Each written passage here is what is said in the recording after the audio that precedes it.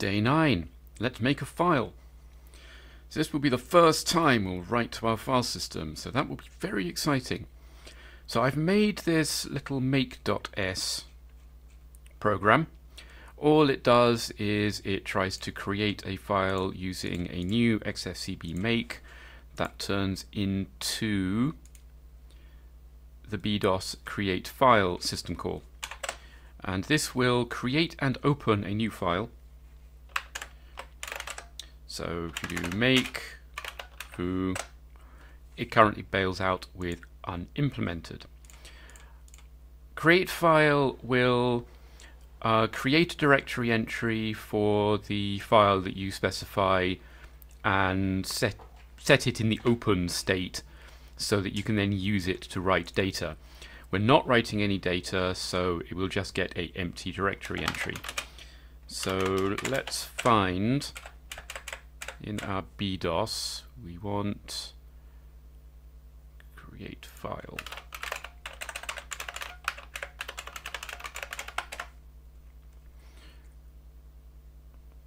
we are going to have to implement nearly all of these, but most of them are trivial. So these are going to be unimplemented. Uh, these are unimplemented. This one is not unimplemented. This is, that should actually be direct console IO. Uh, that allows you to do things like poll for pending keys. Uh, I'm sorry, no it doesn't. Console status here does that. Uh, direct IO Actually, yeah, Direct I/O is Direct Console I/O. It provides a direct interface to the BIOS, so it bypasses anything that the BDOS might be doing. In fact, our implementation here doesn't do that, so uh, get version just returns as constant value. Close file we're going to be working on not quite next, next but one.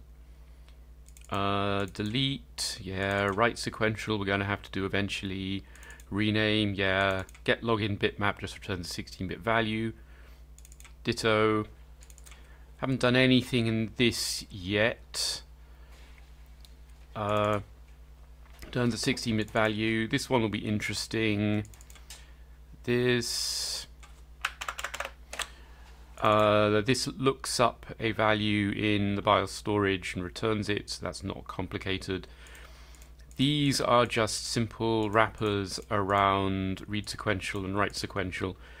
Uh, what they do is they seek to a certain position specified with an absolute number of records.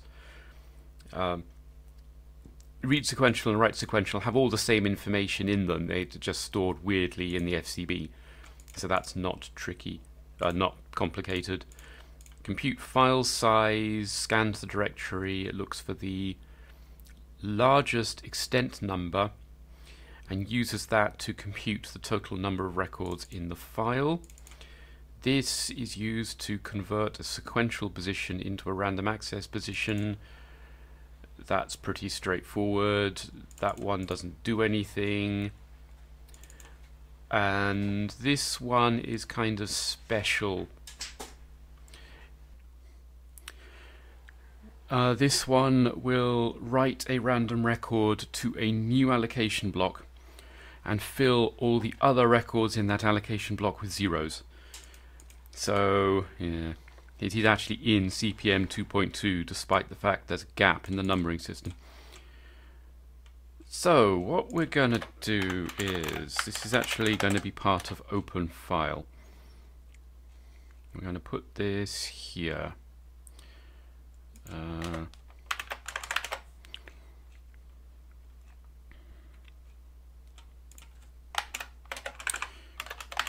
create a file.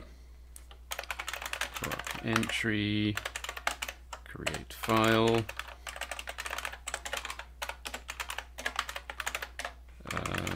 set carry for error. 655, whoops. Thinking about the Z80. Okay, so so make foo cannot open file, it's returned an error. Good.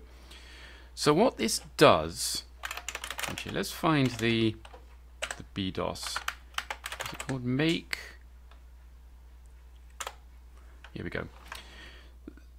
So what this does is it's going to look for an empty directory entry, uh, find one, copy the user's FCB into the dirent, flush it to disk, and that's it really.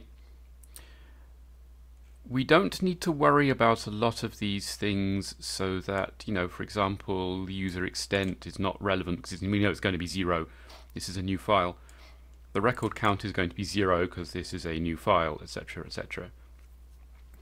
So the main thing we need to do is to create a directory entry, ensure that we update uh, the number of directory entries and make sure there isn't a matching file. Now, weirdly, if the file exists already, the default action is to return to the command prompt, i.e. do a soft reboot, which makes no sense whatsoever. Um, I have written CPM code that tries to create files, and like you have to try and open it first to make sure that the file doesn't exist, so that you can return a reasonable error message. But uh, anyway, we're going to initialize the FCB. We want to check to see if the drive is write protected. Uh, so this is calling this function called check write. And this is doing a hard error which will abort the program.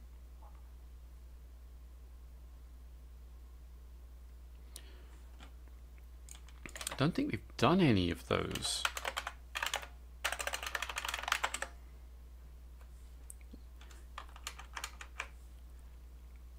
Uh, this is calling an, an, error handler routine. So we're actually going to here. This looks like it's a table which you can patch.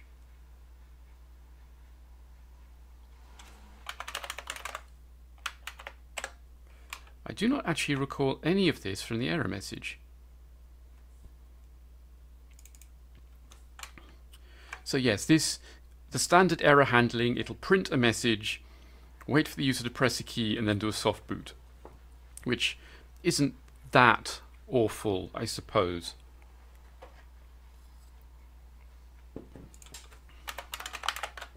Okay, so check disk writable. And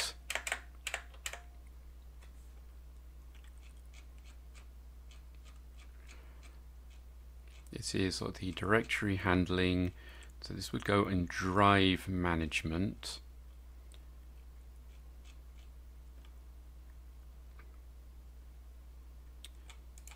So check drive check disk disk writable And we'll just put an RTS there for now, I think.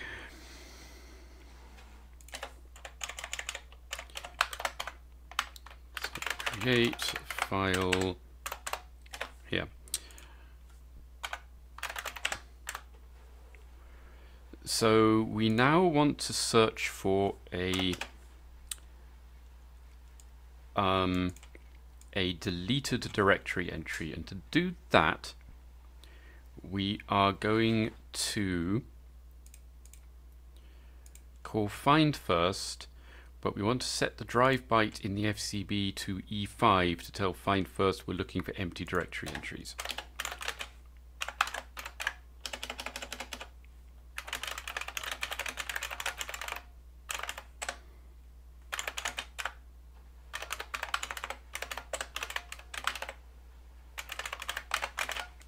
This will overwrite the existing drive, but that's okay because we know that the uh, it's been processed here. We know that what's in there is the user code and we have the user code handy, so we don't need to save it.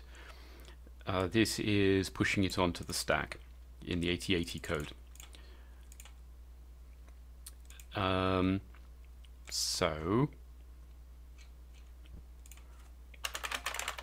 we call find first. If carry is clear, we've got one.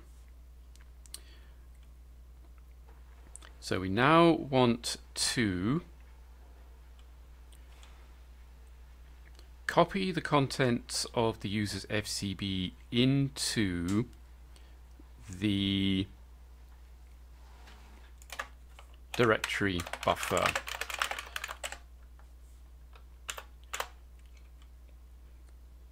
Um, we want to make sure the allocation part is the allocation part of the FCB is all zeroed. That's kind of important as we have no disk blocks allocated.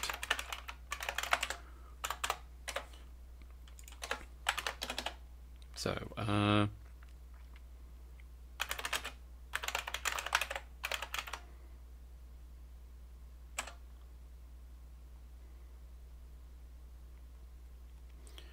we're going to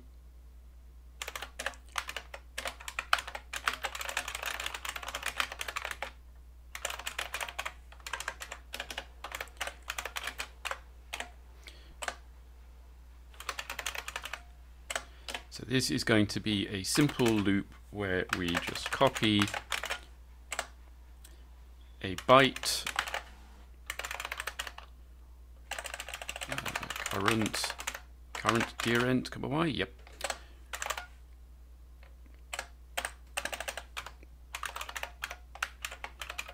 Oops we need to compare that with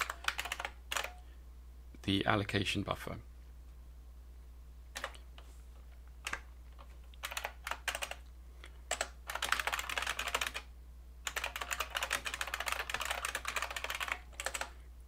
So that's just going to be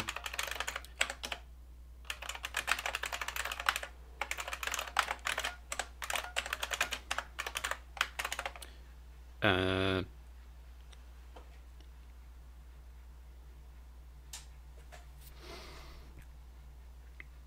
current record. Actually, no, we're going to do AL plus 16. Okay.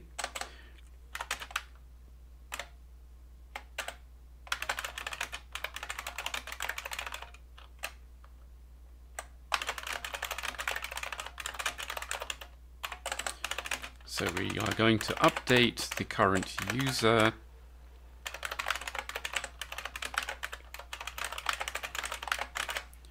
the right value. We are going to ensure that uh, the these four fields are all zero. We know that S2 has been zeroed because that happens in uh, new user FCB, but the others are not zeroed. So EX uh,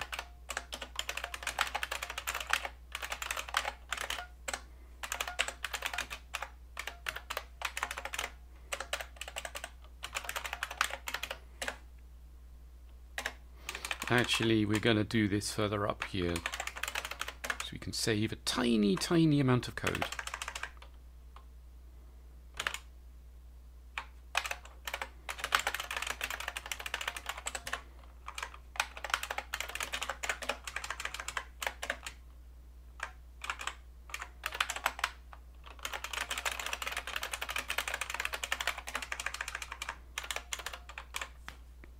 Okay,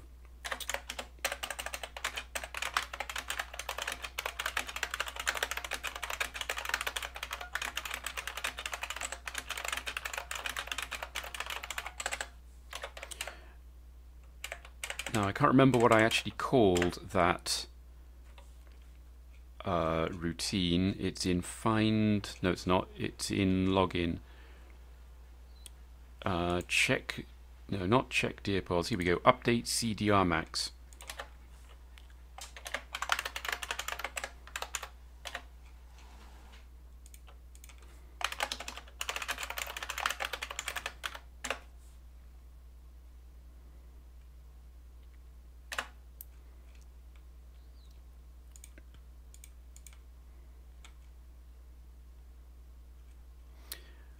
Um, have I done this right? Actually, I think...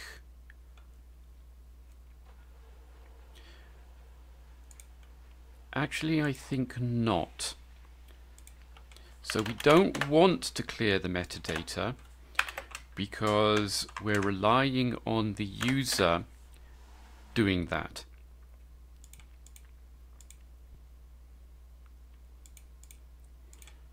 The user has to clear those bytes for the routine to work properly and that's in the specification.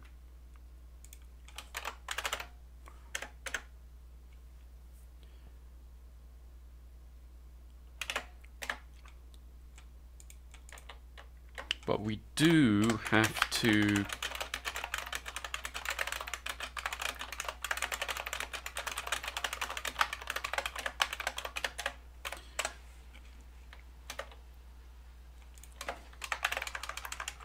we do have to do this bit.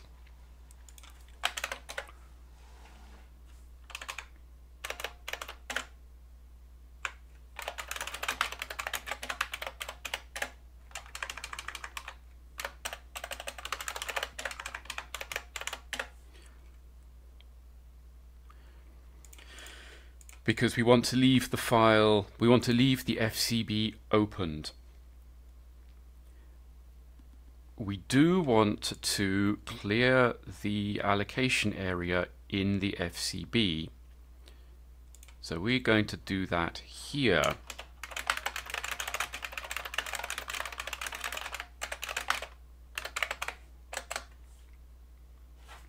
So LDA so we start at here.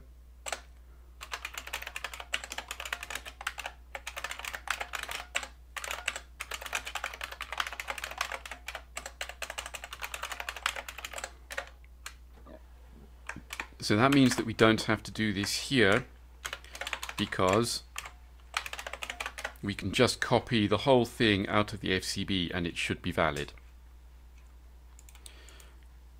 So I think that's everything we need, apart from one terribly important thing. What's this set woof? Set woof.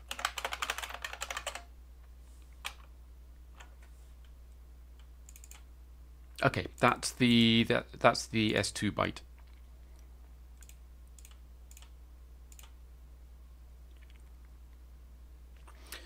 Uh, there is one terribly important thing we want to do, which is we need to write that sector back to the disk.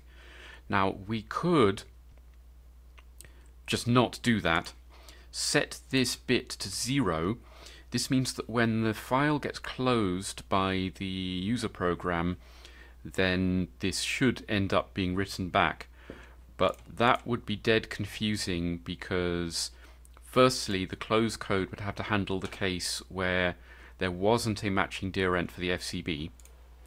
And also, if the user tries to create another file, because this is always going to find the first file,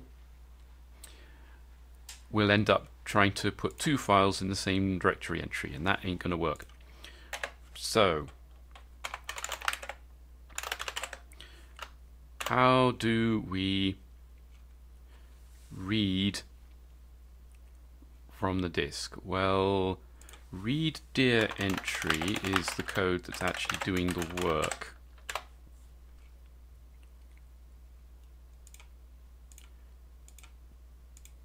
And this is pre-incremented. That means that this has correctly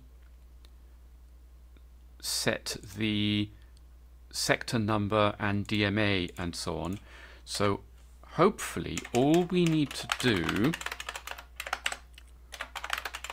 is just call write sector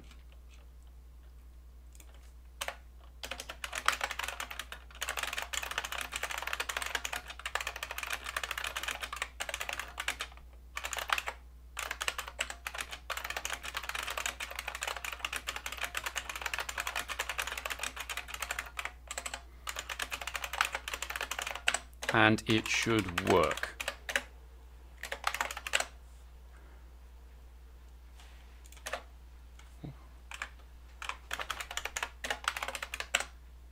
Okay, but we haven't actually implemented this.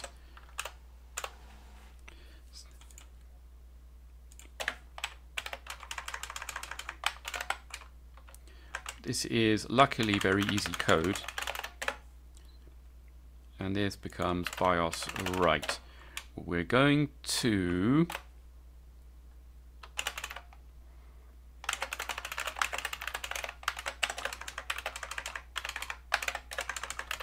put bring that out. Oops, JSR set current sector like this. Okay. So let's see if it works then. So make Nord. Cannot open file. Uh, did I remember to clear the carry?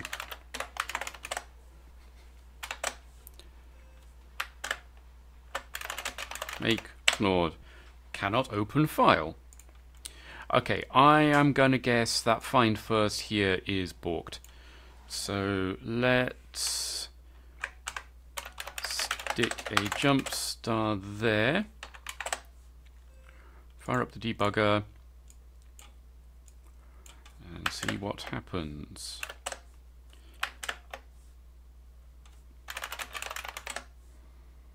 Okay, break 1C29. Uh, put the breakpoint in.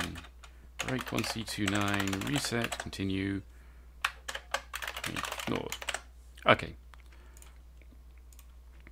So set the drive byte of the DRN of the the FCB, which is at 2188. So there is our directory entry with a E5 at the beginning. Uh, what we're looking at here actually is makes pblock. So there is the command line afterwards, which is nice. Uh, so we should be in find first now.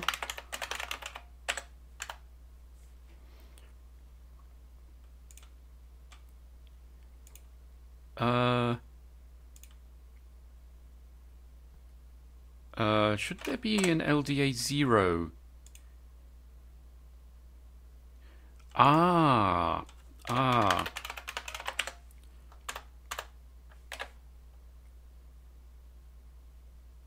Uh, we need to tell it how many bytes of directory entry we want to compare. So for deleted files, that's a 1. I've forgotten that that, that calculation normally happens in the public entry point. So let's... Oops, what's that? Uh, I'm scanning a big document, so if you may be able to hear machine noises occasionally, and it's not a very good scanner. Um, we were going to... Did I save that? I did not save that. Okay. So we are going to restart and try that again. So we are here.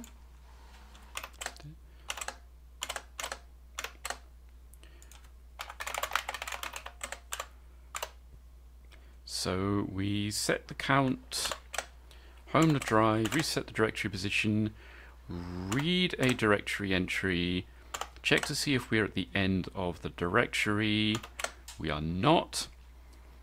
Did the user want to see deleted files? Yes, so we skip the CDR max test. Uh, do we are now going to do the comparison. So we check the first byte is not a question mark. Yes, we're not looking at byte 13. We're not looking at the extent byte. So we're here. Compare the two characters. This should be a zero. It's a zero.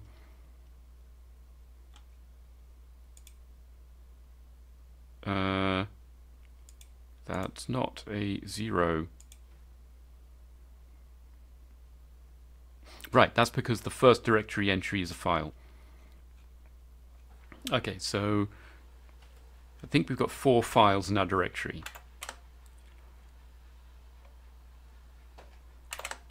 Okay, actually I think I'm just going to continue. And uh, the program thought it worked, so let's do a dir. And that does not look like it's worked. That looks like it's corrupted our disk. So let's take a look at what it did. Well, it has written a directory entry. It's got a user code of zero. Everything here looks fine. So why did dir not work?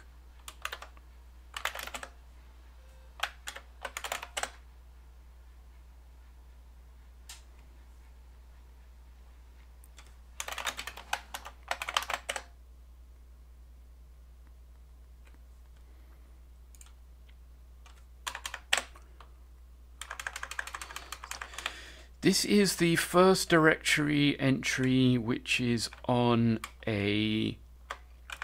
Uh, it, it's in the second record, so possibly something with the logic there's gone wrong. But...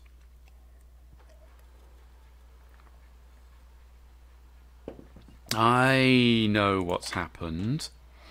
It's printing one file because in the during the login process, when we scan the bit scan the directory, we compute CDR max.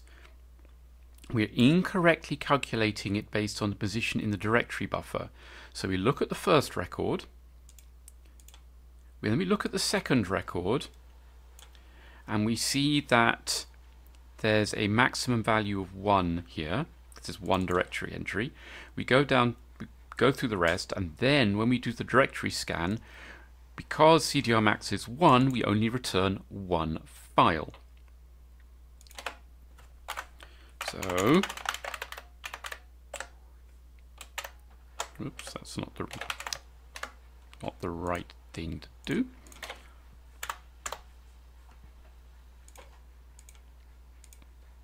Yeah.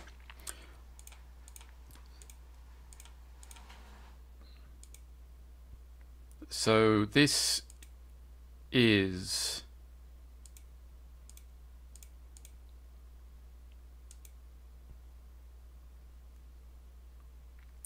this is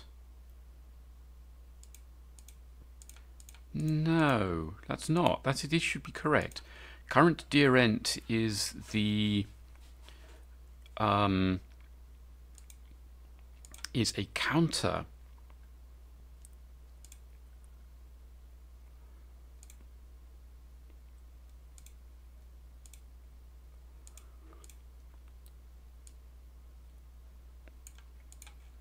So... Wait, what's this doing? Move on to the next dirent. Directory pos should be the the count of directory entries. current dirent is a pointer. So, the maximum directory entry in the file, this should be direct uh, directory pos.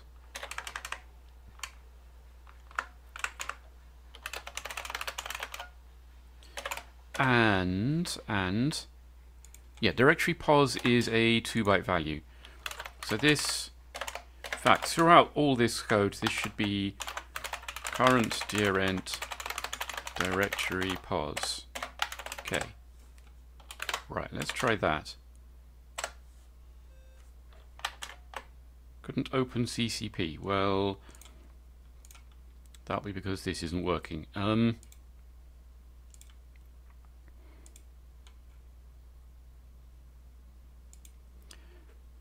calculate the offset in the...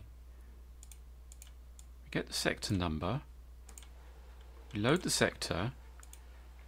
Then take the directory buffer and we add...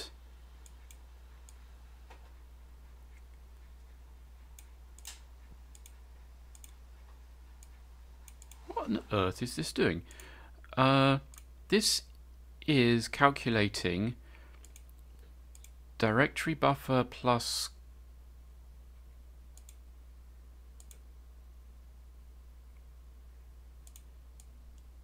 uh, things if we've gone through here I think it's expecting directory pos to be the shifted uh, I think it's expecting A to be the shifted directory pos but if we've gone through here and loaded a new sector then that will be corrupted. So I think that needs to be LD0 to indicate that the shifted directory pos is going to be 0 which we know it will be because we're at the beginning of a new sector. So it... Yeah.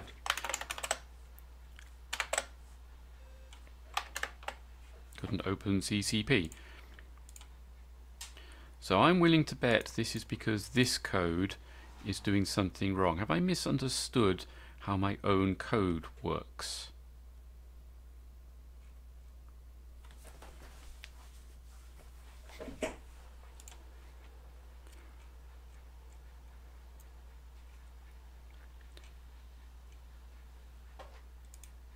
So we read a directory entry.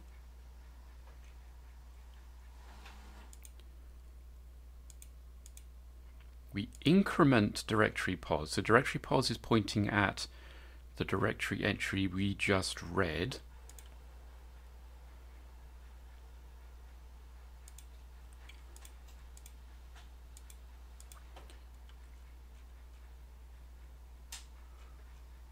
Are we resetting uh,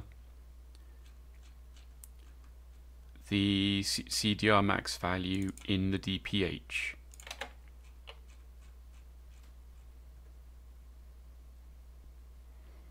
I am not actually sure we are.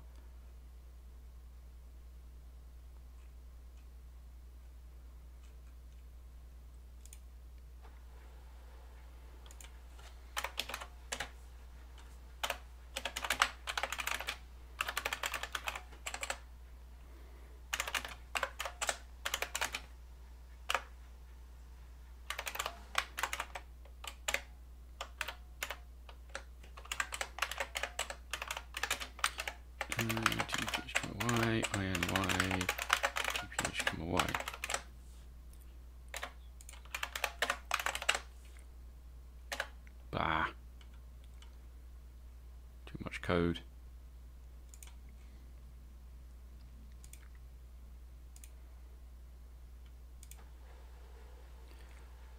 Um, if carry set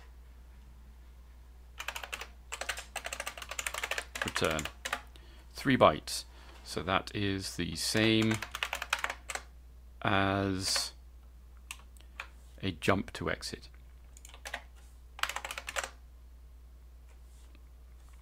But I don't think that will help. No.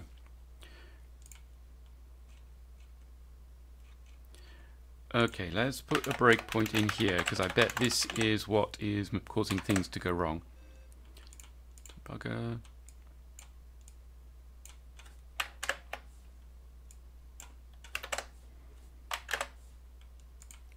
Break 1EC0.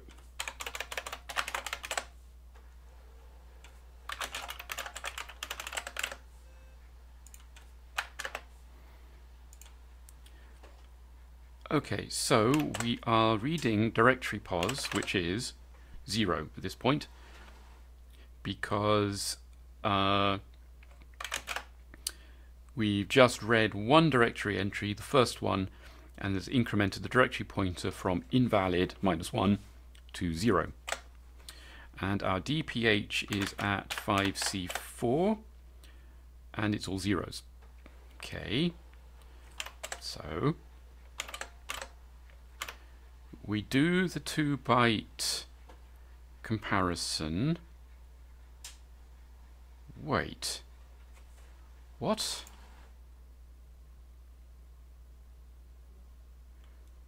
This code is bollocks.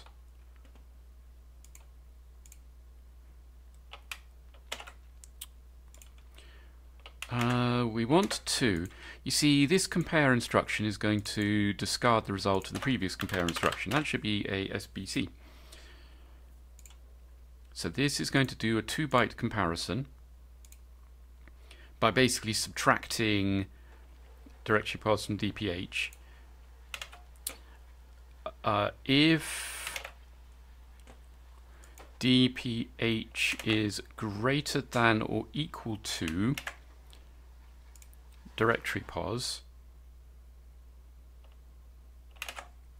Uh, that num greater than equal to num? I think this wants to be a carry clear due to the way we've done this. So that we're subtracting. This is this is DPH minus directory pos.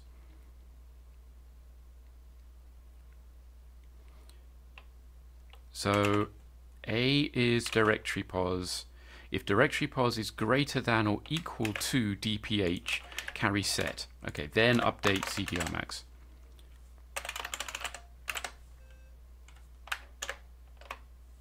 Okay, so compare, subtract. Carry is set because we haven't updated CDR max yet. So we now set CDR max.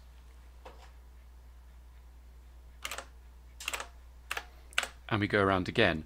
This time, directory pos should be 1, which it is. So, okay, and again, and again, and again, and again. So this looks like it correctly set CDR max. Oh, oh, oh.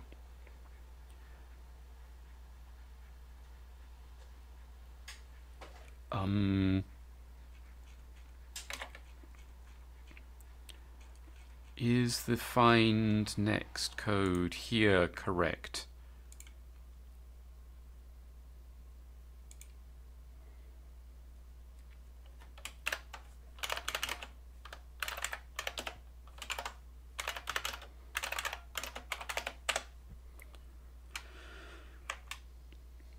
Directory still looks valid.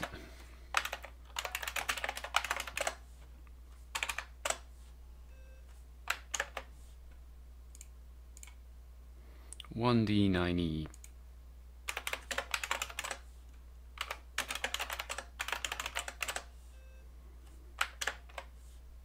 Okay. So we should have done the login. Which means that CDR max should be set up correctly. So uh, CDR max is still at 5C4 and I believe it's these two bytes indicating 4. see, this is actually doing a compare and SBC, but I bet that this comparison is wrong. Yes, it is wrong. That's inverted. How did this ever work in the first place?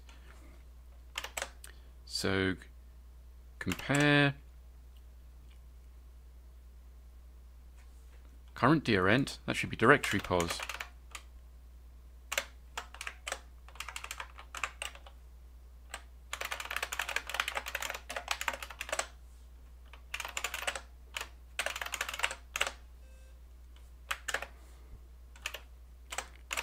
Okay, 2OBF is the directory pos, which is currently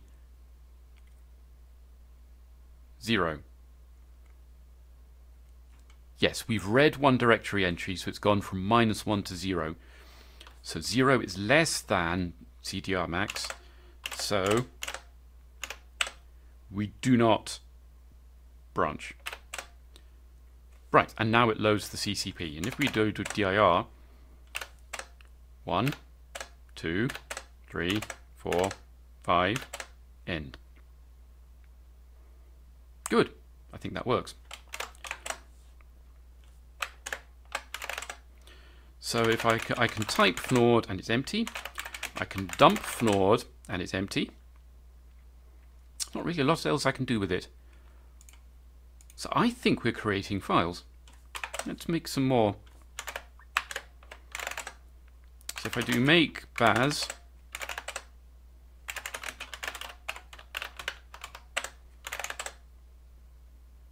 okay, let's try and make another fnord. That shouldn't have worked. And it's created two fnords.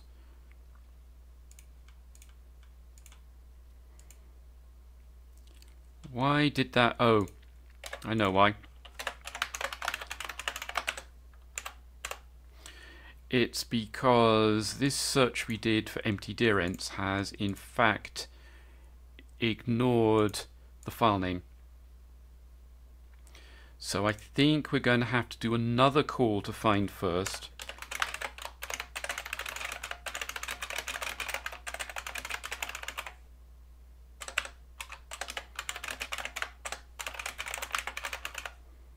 In fact, we don't want to load that with 15 and we want to use a symbolic number for this.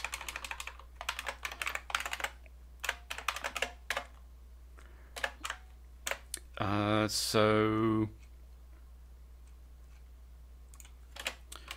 if carry is clear, i.e. if we did manage to read the file, then set carry and exit. And I think we want to put that here because we're about to start tinkering with the FCB.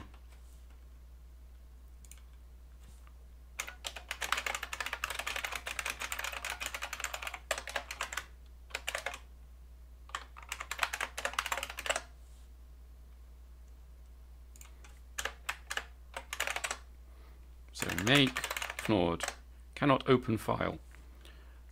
That's correct.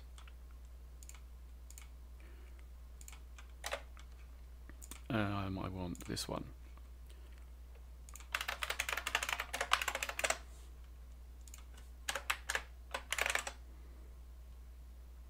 Right. I changed this file so it rebuilt the disk image. Make fnord. Make fnord. Cannot create file. Good.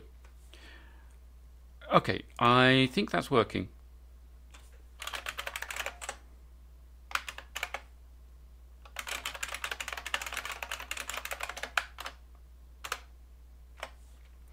So what is next? Well, first I have to feed the scanner. Okay, uh, scanner is fed and scanning. Uh, the document, it's, it's, scanning a huge document with lots of pages, and unfortunately the page feeder, oh, it feeds pages in all right, it just tends to jumble them on the way out. So once this is done, I'm going to have to put like 150 pages back into order. Ah, anyway, that's a different problem. I think we now want to try and write to the file. But first, I'm going to make me a new helper.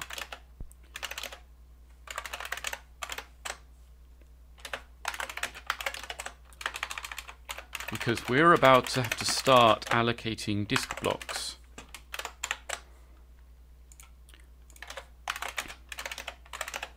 So let's make a program that dumps the allocation bitmap of the disk to the console. Now, there is a call for this, which is get allocation bitmap.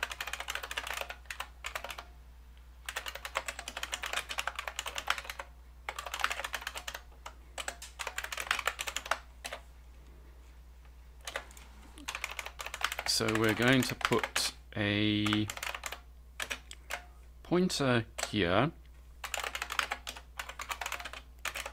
and we're going to have an index. The allocation the allocation bitmap can contain more than 256 entries, but we know this disk is smaller than that, and this is a hacky debug tool, so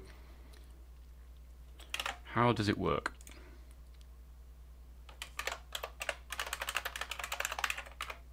We go. Uh, return address of allocation map. Return address of the current allocation bitmap in HL.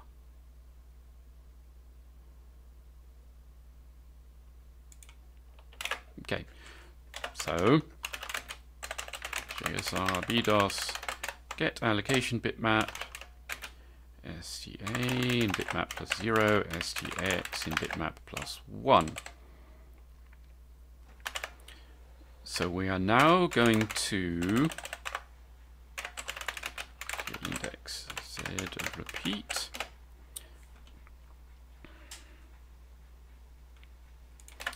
um, um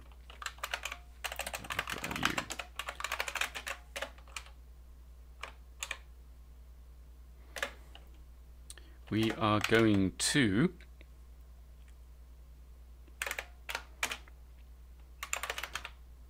load the byte index,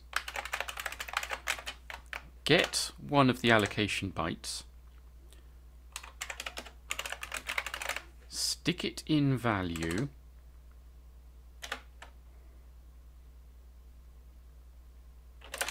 You know what? I was going to try and print it as with like X's and dashes, but I can't be bothered, so let's just print it as hex, which honestly is almost as easy to read. So we're going to copy this, uh, print an 8-bit hex number, and stick that in here.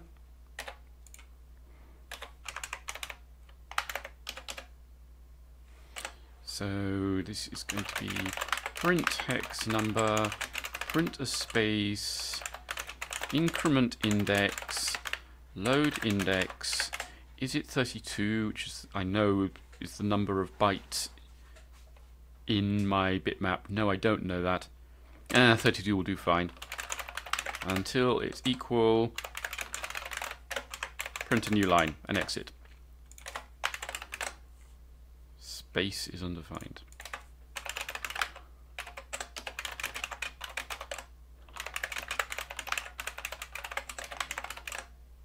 Okay.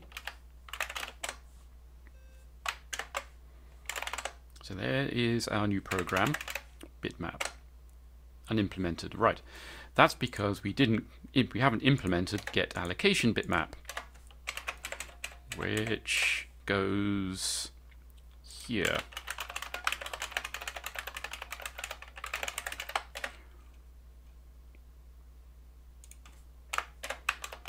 And this is going to, this goes under drive management.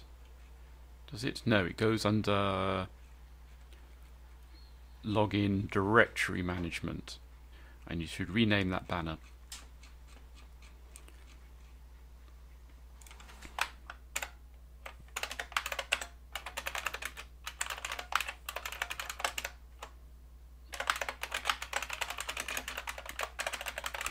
to the allocation bitmap XA. Incidentally, I've had occasional comments about how clicky my keyboard is. You'll be pleased to know that I have acquired a new clicky keyboard that is even clickier. And it feels so nice to use, I'm probably going to end up using it as a daily driver. Just not at work because I'm not allowed. Uh, where did we put the bitmap?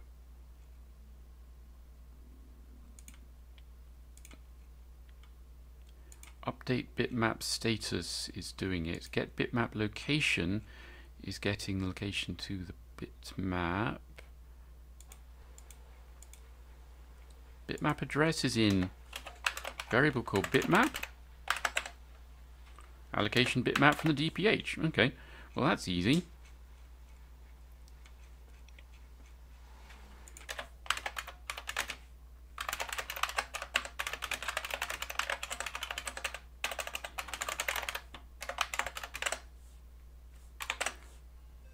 Okay, so boot it.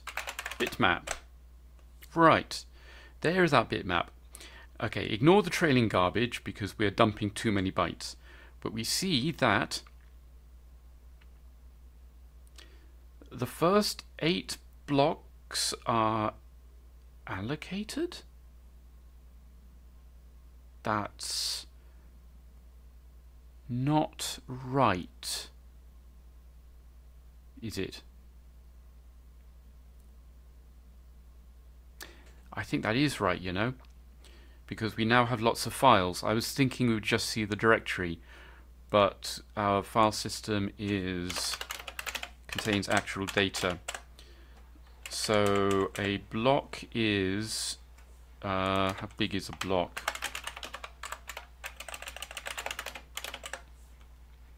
One K, so that's 400. So we've got two blocks for the directory. Uh, we've got a file. We've got another file. This looks like no, this is the CCP, this one, it's C00. More files. See, there's actually quite a lot of waste of space because the allocation block is a kilobyte and most of our files are smaller than that. There's our text file. Here we go. Uh, so P by 400 is 8. Right, that's correct. We have correctly computed the bitmap. So let's go down to make. Try and create the file.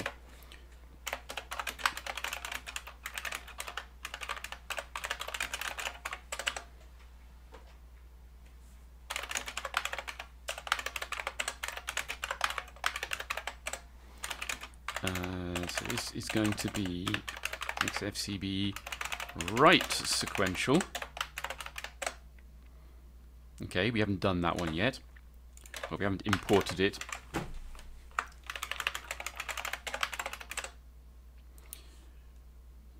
So now we want to create our write sequential. Write s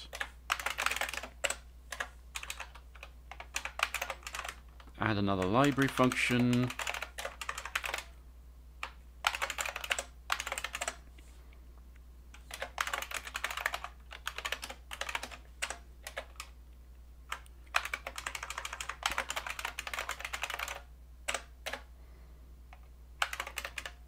So why are we importing get and set? Or BDOS. Or clear. So we now we are now calling write sequential in our program. So we call make fnord and we get unimplemented because we haven't done write sequential yet.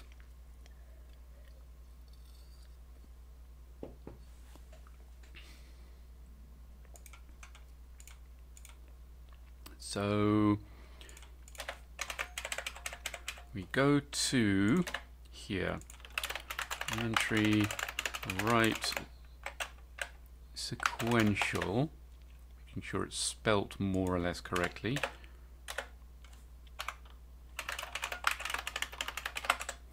So read sequential is this chunk of code.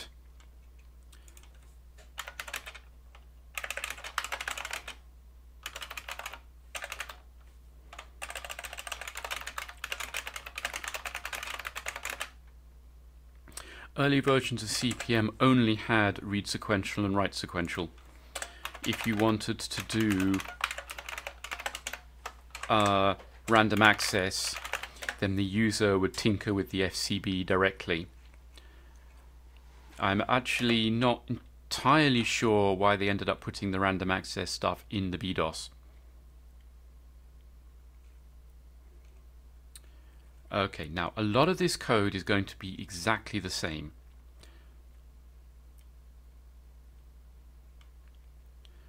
So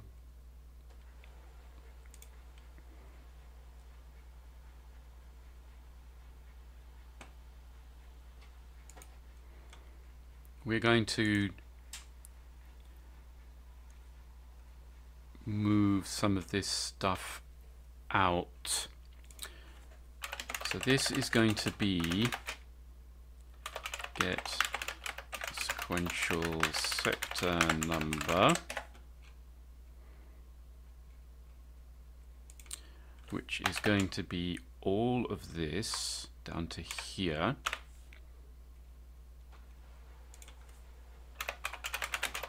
Get sequential sector number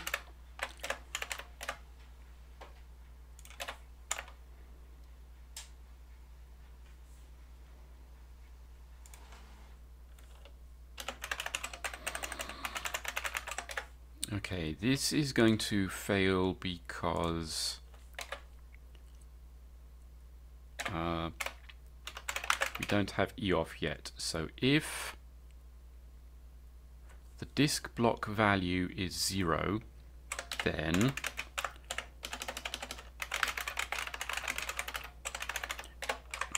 exit with the error code in A so here, if carry is set, we exit with error. Uh, actually, actually, this can only ever return, this can only ever fail like that. So, um,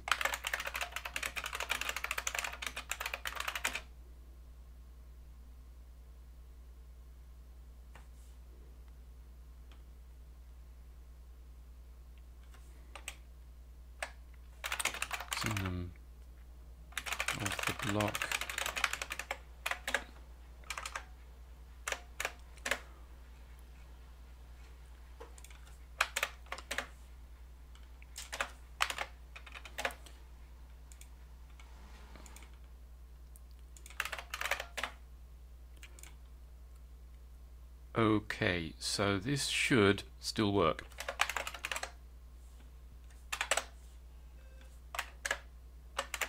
Yep.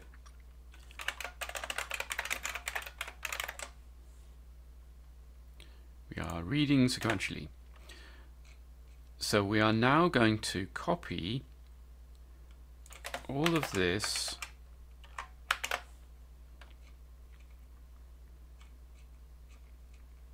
here.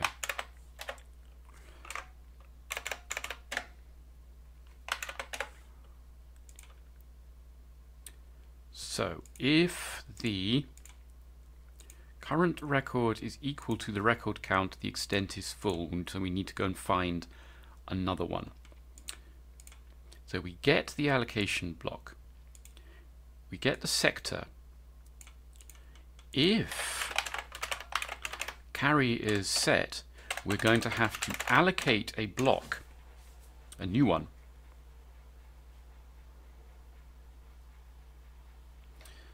So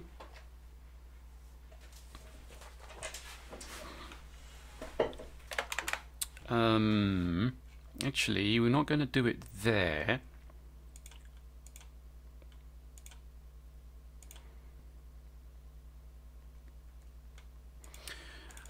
Hmm. We did this comparison here because it's much easier to test to see if x and a are equal by writing them to memory. I think it's the only way. But really, we want to do it here.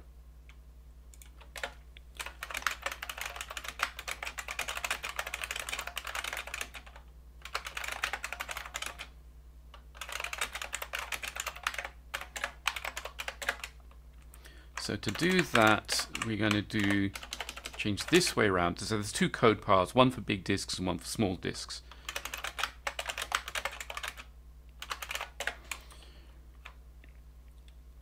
But this side of things is harder.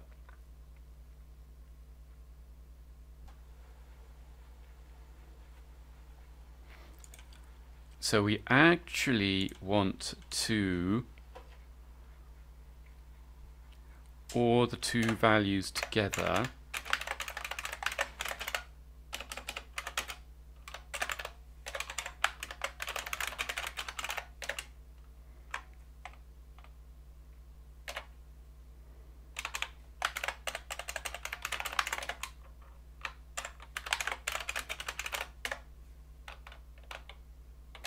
No, we can't do that there because you've pushed something onto the stack.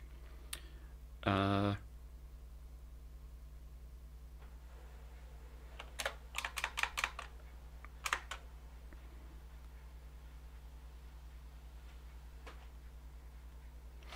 I think we're going to have to do this the hard way. So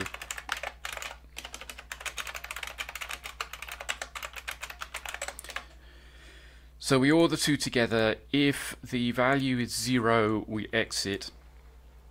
Uh, we have not set x at this point. Uh, however, this code will do it. We could safely reload the byte from y because we know they're both zero. So now we want to load them both again. So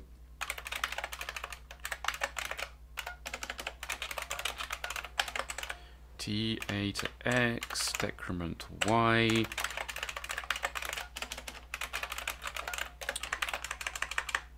And in fact, that's better code.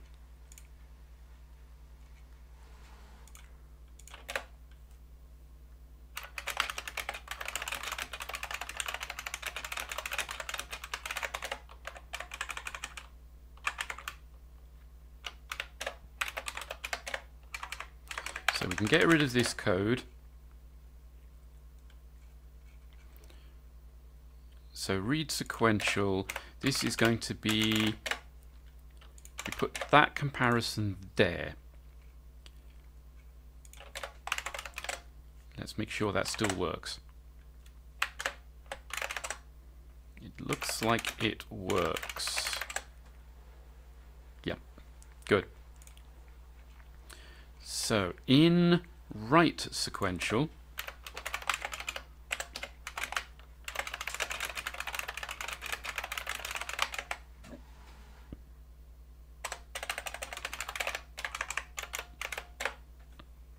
it essentially becomes this code.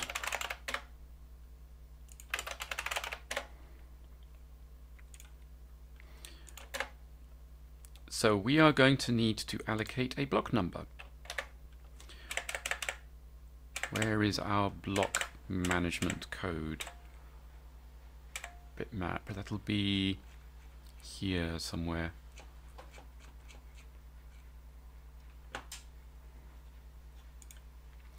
uh, given a block number in temp plus 0 and a block status in A, sets it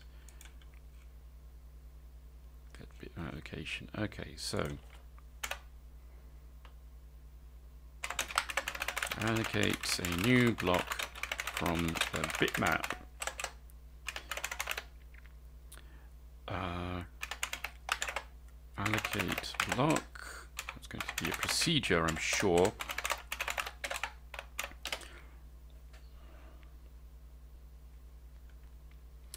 So we want to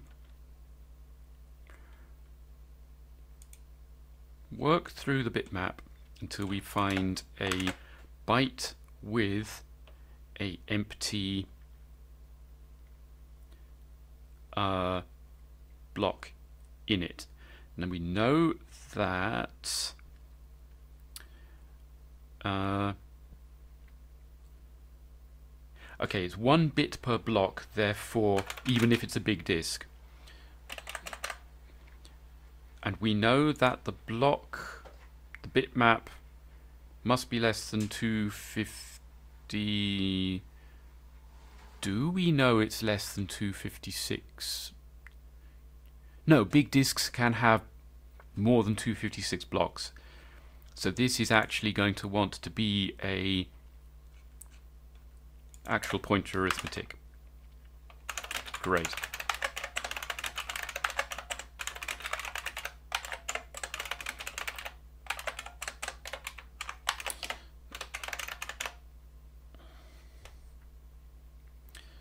So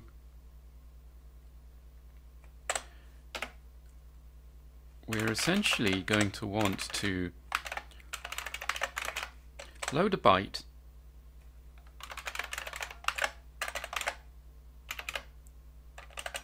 uh, compare it with FF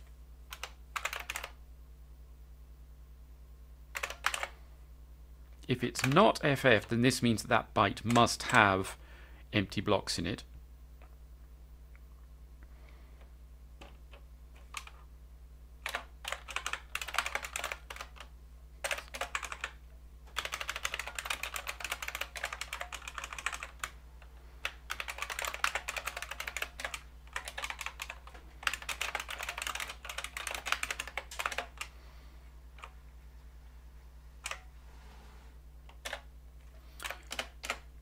Otherwise, we're going to want to increment the pointer uh, if rollover in temp plus 1. We're also going to want to compare against the end of the bitmap. So we can either compute the end of the uh, the bitmap and then compare our pointer, or we can use a counter. Uh,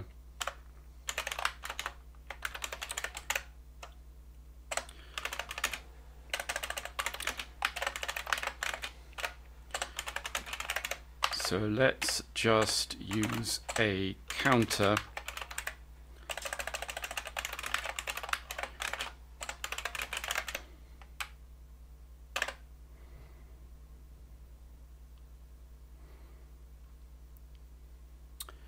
That's the wrong field.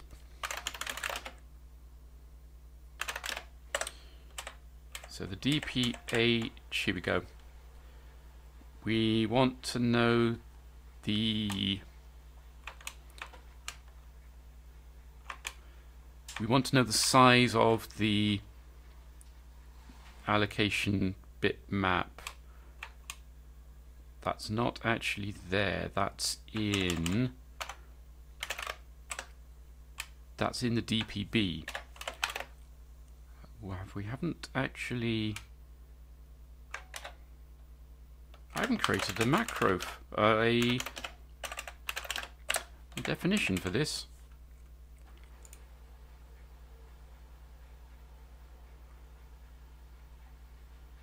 If I haven't created a definition for this, then DP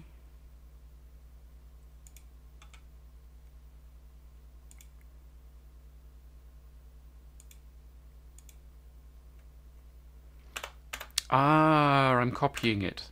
That's what I'm doing. Yeah, here we go. So, uh,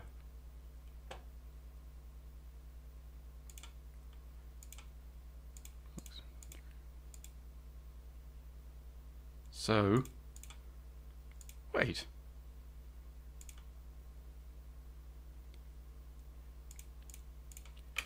Does the DPB contain the address of the, uh, the, the contain the length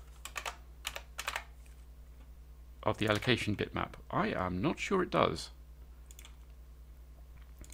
So the DPH contains directory uh, allocation vector, address of the allocation vector. No, that's the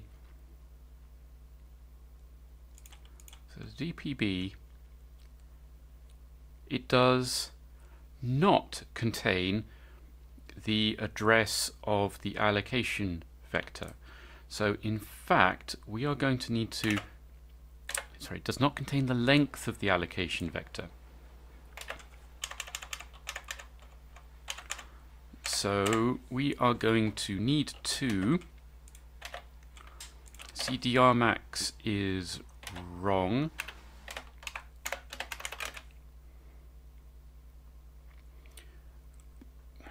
We are going to want to uh,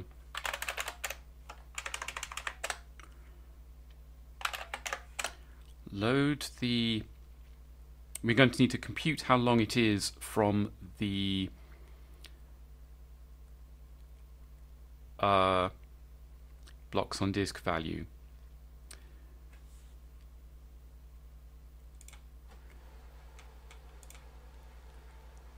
Um, okay, no, we're not going to do that. We're going to do something else. Because reasons. It's going to be slower, but honestly, that's not important. So we copy the... We take a copy of the number of blocks on disk, and this is going to be our count.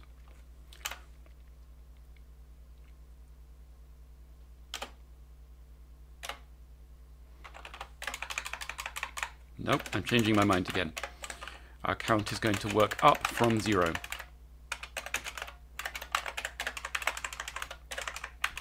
Okay.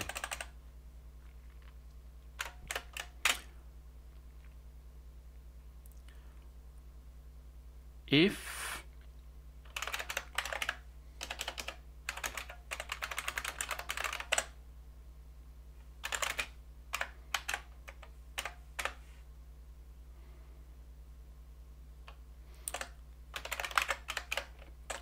if the block number is zero,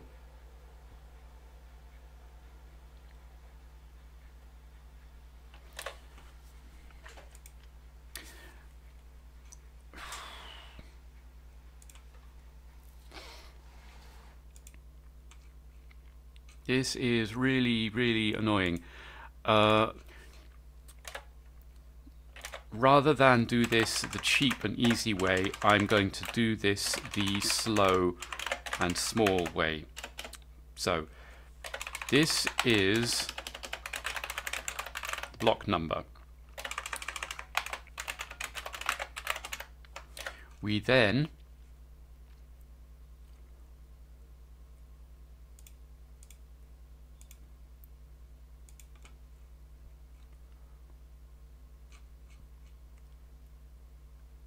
we then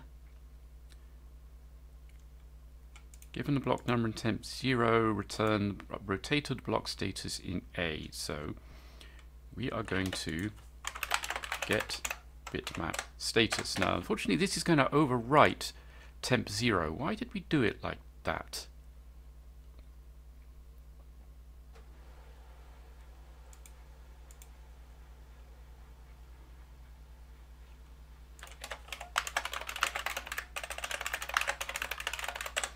Because get bitmap location reads from temp0 and updates the pointer. Get bitmap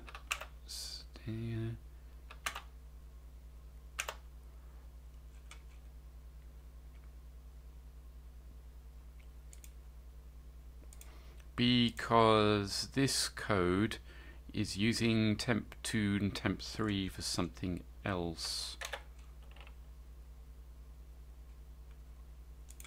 Okay. So, plus 2, SCA temp plus 0, temp plus 3, SCA temp plus 1. Okay, so we get the bitmap status into A.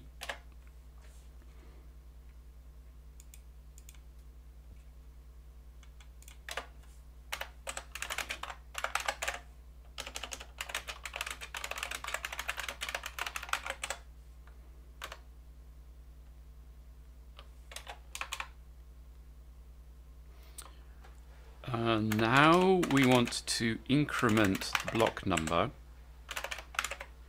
If it rolls over, increment the high byte. So then we can have a until zero. That means the block is free.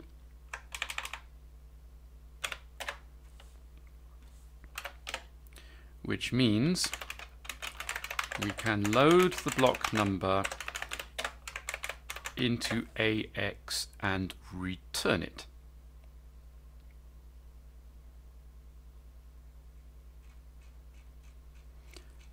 Okay. Um, we don't have, it's more important to be small than fast for all this stuff because even though it's a nasty O1, uh, ON algorithm for finding the new block, even on a really slow 8-bit machine, the, the, amount of time taken to find a block is insignificant compared to the amount of time taken to actually write it to disk. So this is going to be find unused find unused block.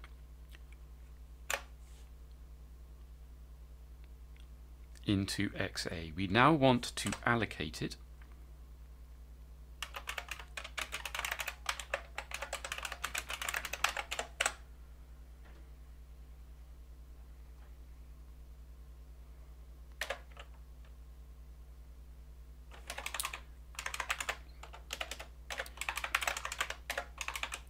This is going to, going to change my mind about this again.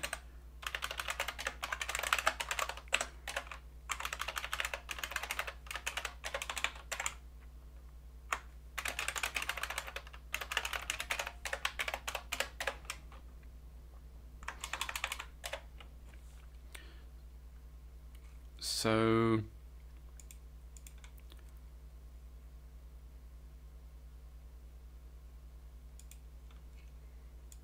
given a block number in temp 0 and a single bit status in A, so we are going to maybe A temp plus 2, SCA temp plus 0.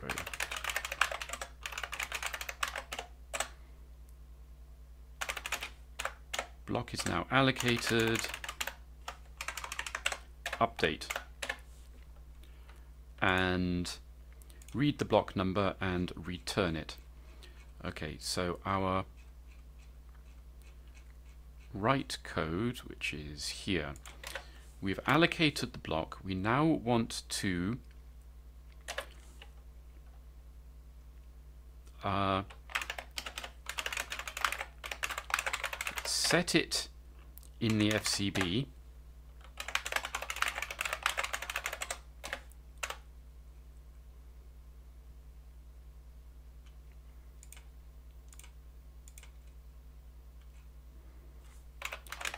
set the current block number in the FCB to XA.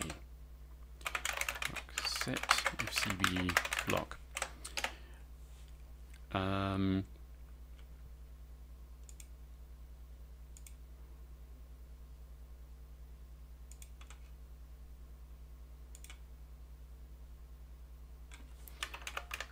So again, this is going to be using temporaries,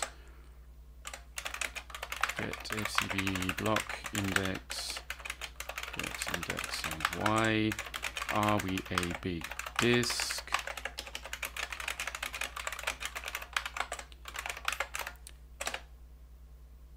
Uh,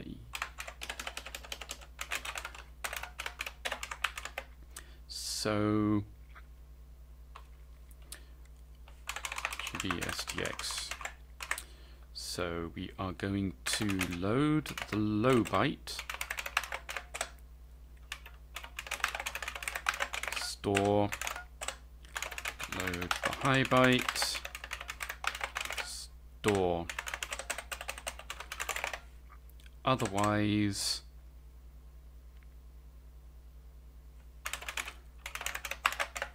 there is only the low byte.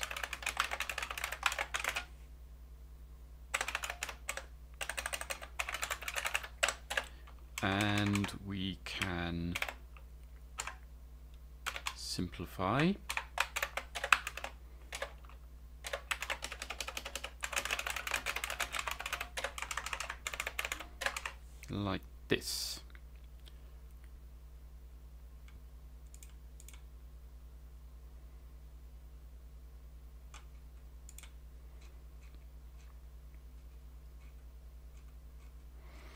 okay. So I think this may actually do something. So make baz. Hang on, before we do that, bitmap FFOO make baz bitmap. It did not allocate a bit. I was expecting that to be 8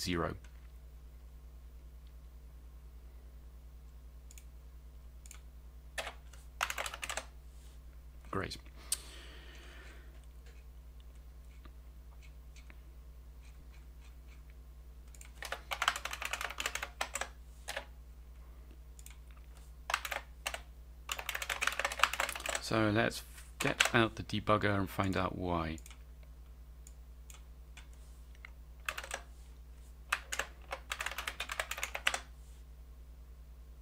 Wait, what?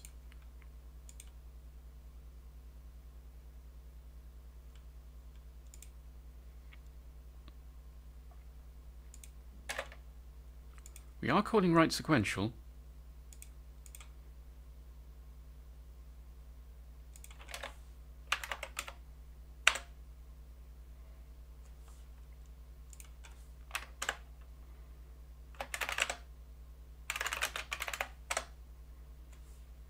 Very strange. Why is that not going into write sequential? There are no places where we can actually produce an error. So going to have to put our breakpoint here. Foo.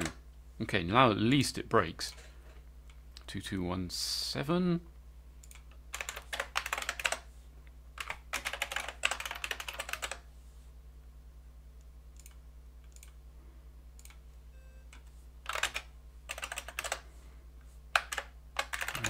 Boom. Okay. So.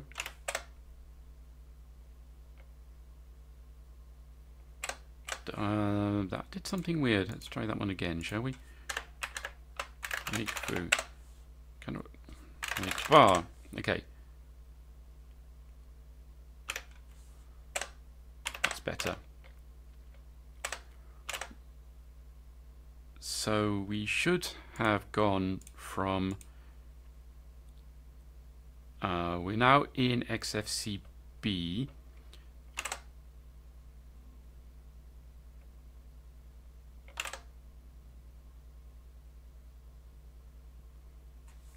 Wait a minute, wait a minute. No, that's right. That's right. Um, I'm actually going to change this. I'm going to put uh, put our breakpoint here just to keep me sane. So I don't have to step through the XFCB stuff. Okay. Break. Debugger. Okay. Uh, 2297. So we now go through the BDOS here.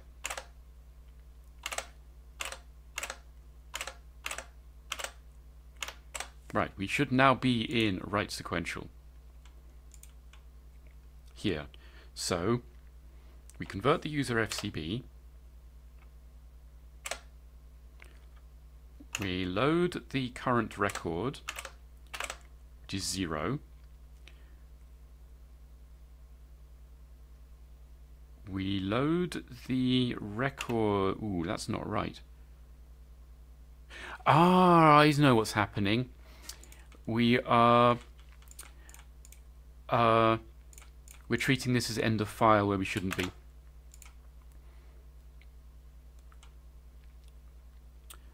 Um,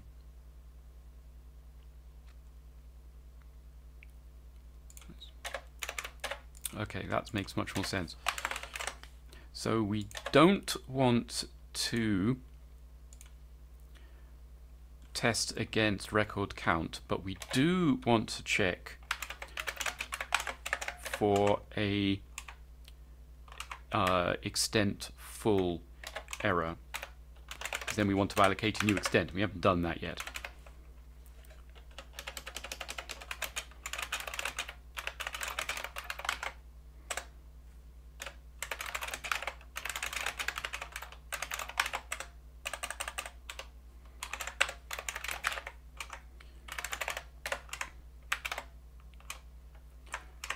Okay, so this is then gets the block. Um,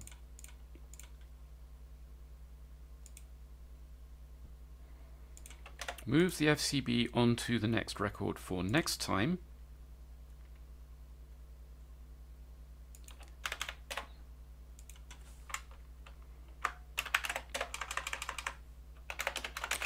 Uh, if CR is greater than record count, update RC.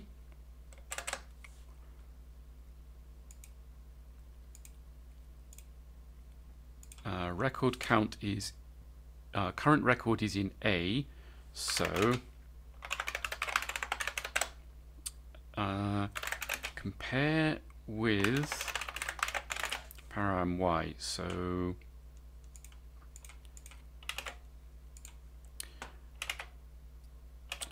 Uh, A is the current record. If current record is greater than or equal to record count, carry set.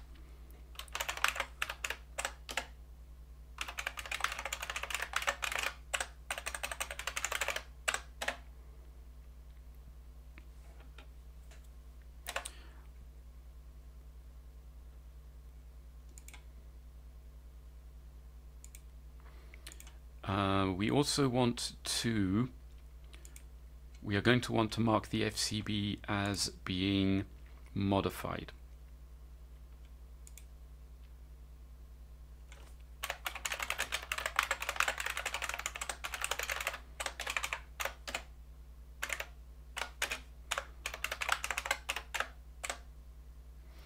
And we do that by clearing that top bit of the S2 flag.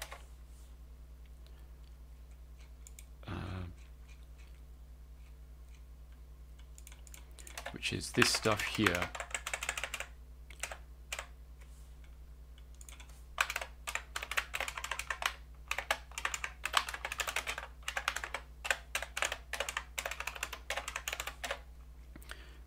So we want to do this here, FCB is modified, and we want to do it here.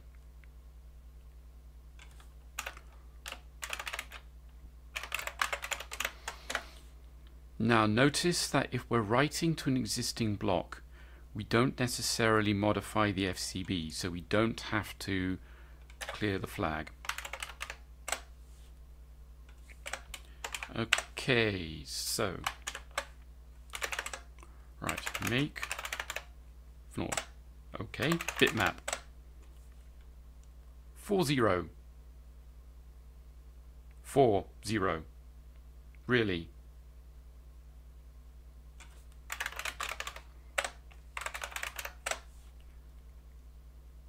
Still 40. That's the wrong bit.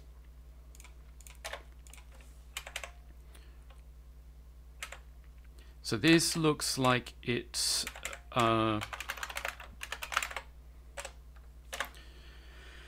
this looks like it has actually calculated it's found the right bit and then has set the wrong one. I know this because the next time through yeah because we've incremented it here.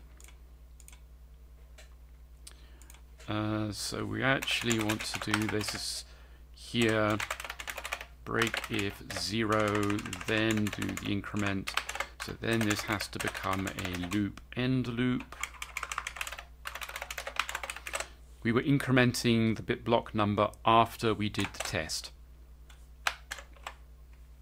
Okay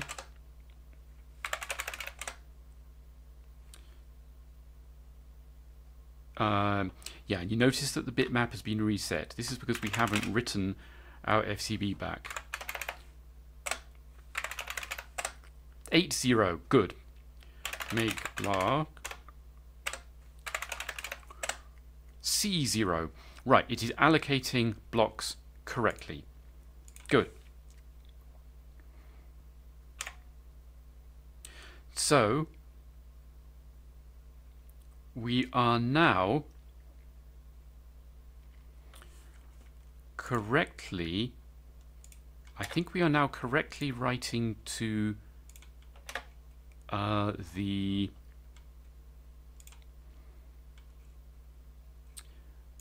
file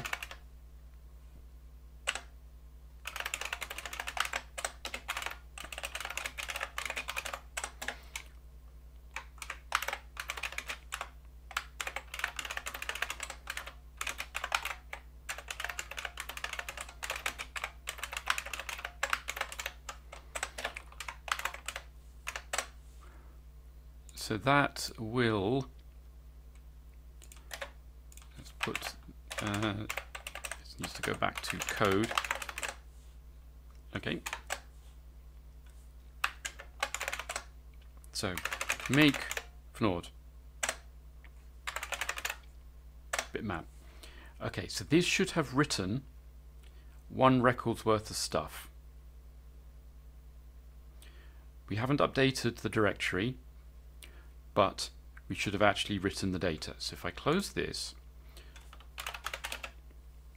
and we look at the image file and go down to the end, we see in the right place a record's worth of cues. That's this data here.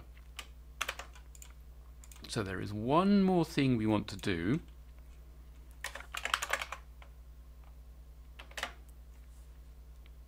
One quite big thing we want to do, which is we go back to our application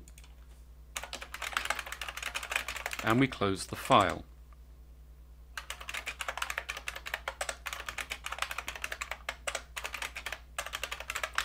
Now in CP/M's close call is uh, badly named because it doesn't actually close the file you can still write to the file after it's been closed. That's not a problem because it doesn't change anything in the FCB other than to mark it as uh, that it hasn't, it doesn't need flushing again.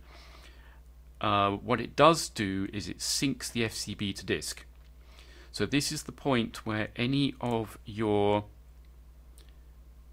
um, new allocated blocks get written to the directory so that the next time the bitmap is read, it'll see them. This is actually pretty cunning.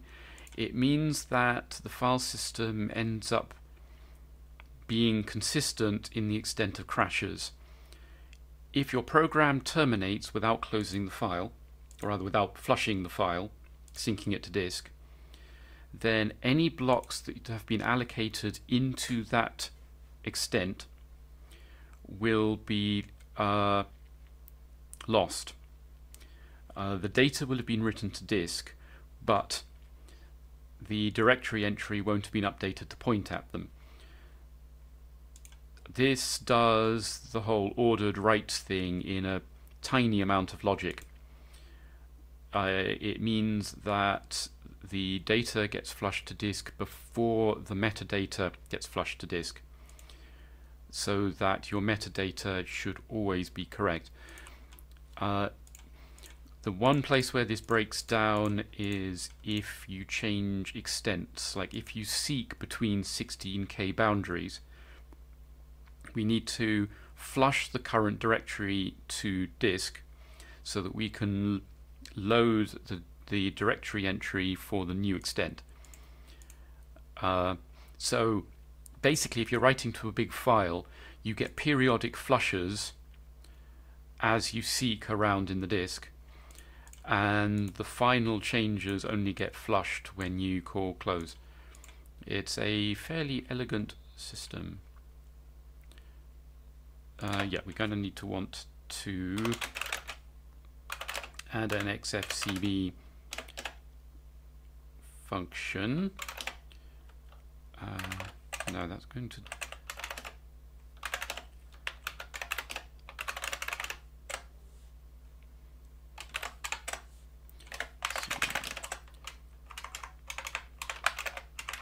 So this will go here. Okay, CCB close. So we want prepare, we want bdos, close file.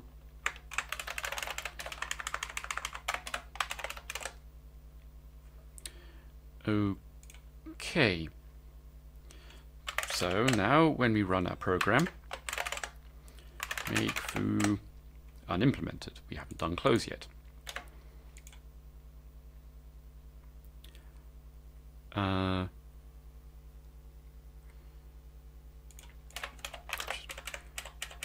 so we find the and vector table close file. Close file.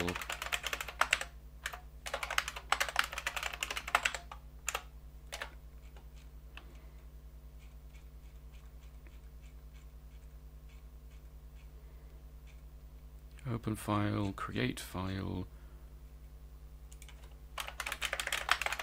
close a file, flush the FCB to disk. Okay. So how does this work? Well, as usual, we want to convert the user FCB. And as usual, we want to go look at the original uh, implementation. Now we have no idea where the um, where the directory entry on disk actually is, so we're going to have to search it. So the first thing we're going to want to do is, as usual, check that the disk is writable and it will fail with an error, a hard error. If it's not, check that this FCB has actually changed. It's an S2.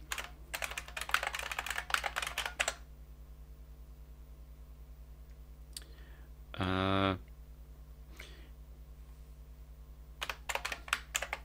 if the value we just read is negative, then the top bit is set. And we can just return.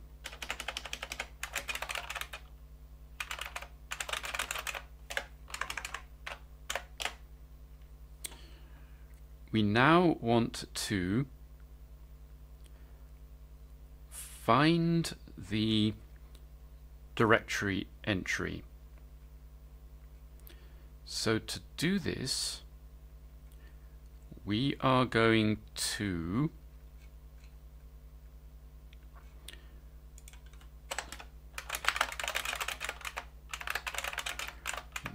for this extent.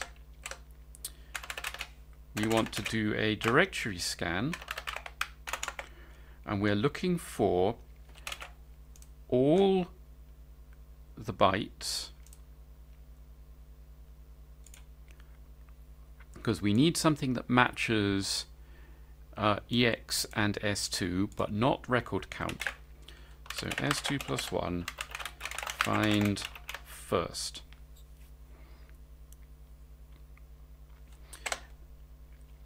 If there's an error, then we do actually want to fail here. What does it do? So if uh, if it can't find it, then this means that yeah, it's just an error.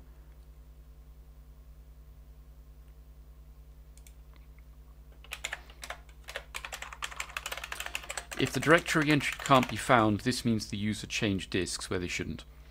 There is a mechanism for testing if disks get changed by checksumming the directory, which we haven't implemented. Okay, but at this point, uh, directory entry has been updated to point at the dirent. We want to update the disk map. So now, I would have thought that you would just copy the FCB but why is this doing such complicated code?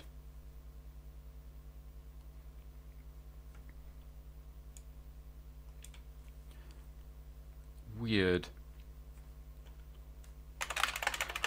Update the directory entry from the from the FCB. So we want to update the uh, the record count for a start. So load SDA uh,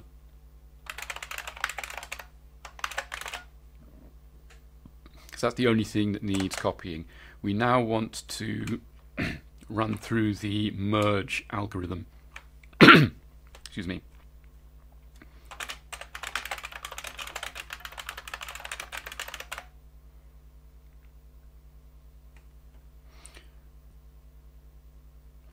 I suppose the reason for doing this is that it's possible to have the same file open more than once.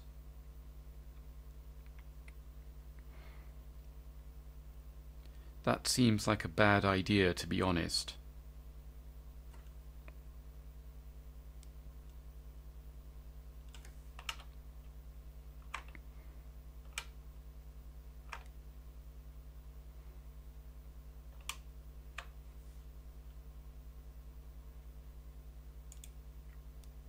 Okay, that's... Yeah, I don't quite understand that, but this is a big chunk of complicated code, so I assume it's necessary. Also, I am not sure that find first uh, okay, yeah, it does set carry if no files were found. Does it? Let me just double check that because that might explain why opening invalid files produces weird results.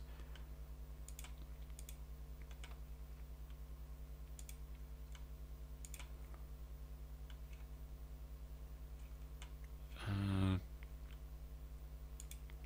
no more files does indeed set carry. Okay.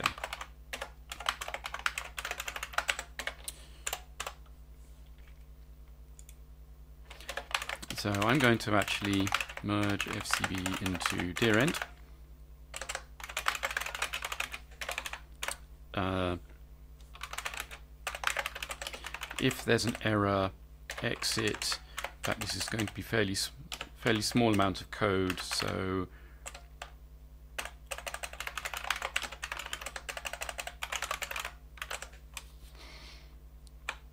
So that can just be branch if carry set to exit. Branch if carry set exit.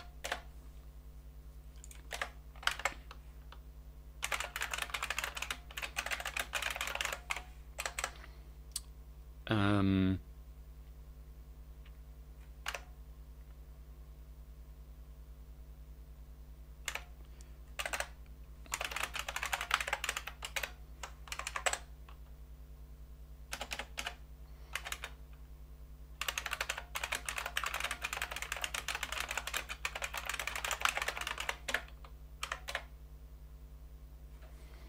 and exit. Now we we do want to mark the mark the FCB as modified.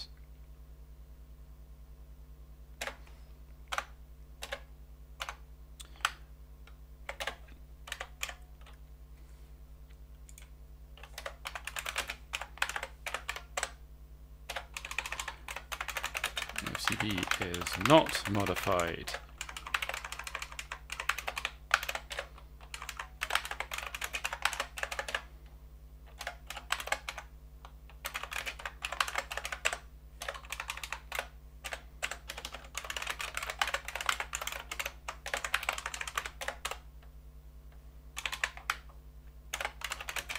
FCB is not modified. Okay.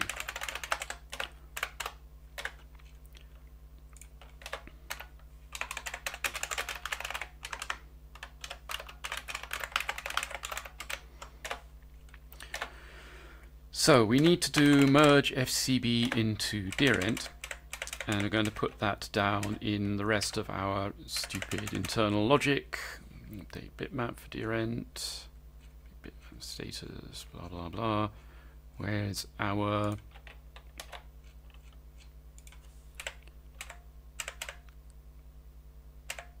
Where's the code that actually looks at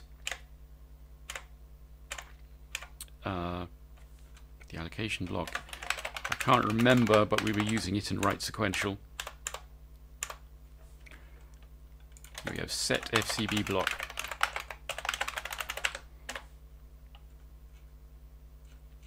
up here in read sequential.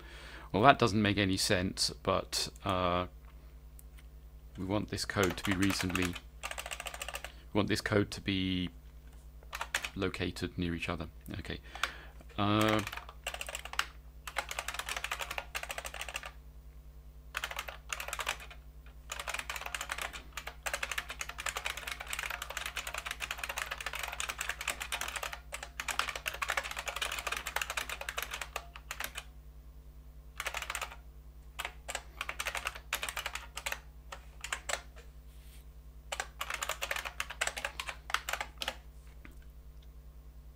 All right, now.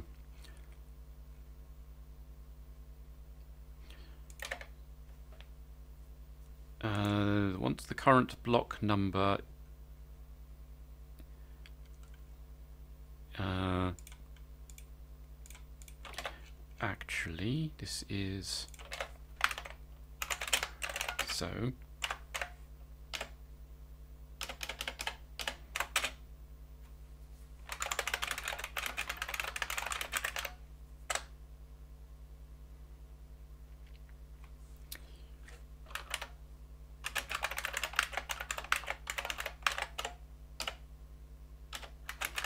Are we a big disk? Yes. That means that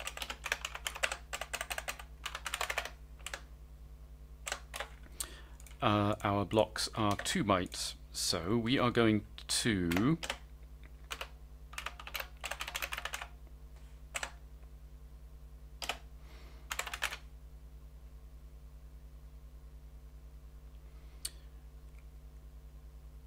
uh, load FCB block number.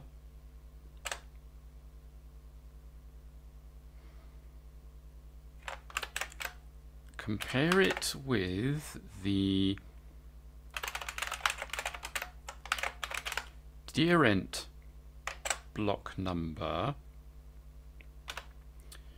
Um, if they are hmm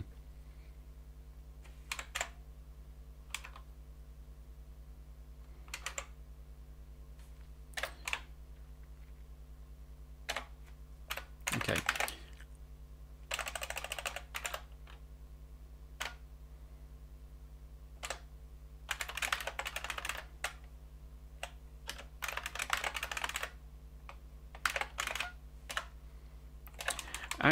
I'm going to do the algorithm for the small disk first, because that's going to be easier.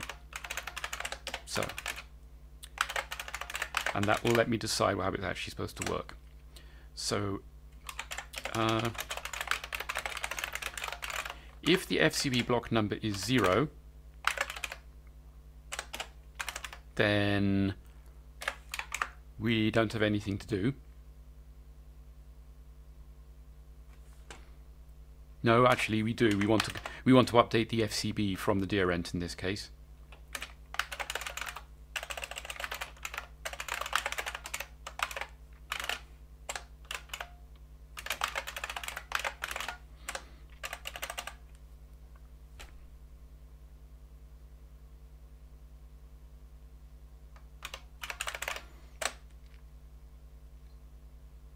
If the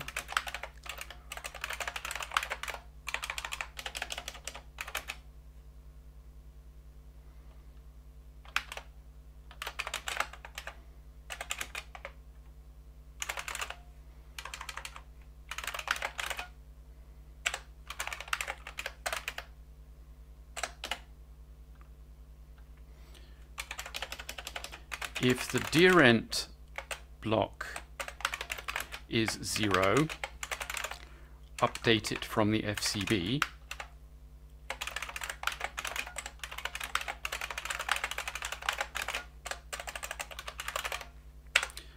Otherwise, compare them.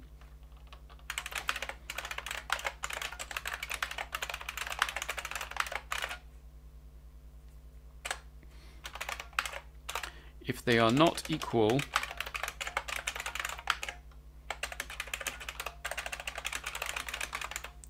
then this means that we have two files open. They've both tried to allocate different blocks for. Sorry, we have the file open twice, and uh, there is a conflict. At which point we just give up. So merge error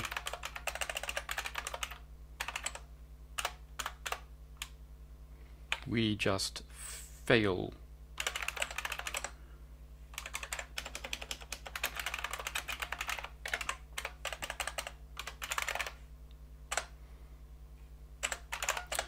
Go on to the next one and keep going until we hit the end of the allocation map.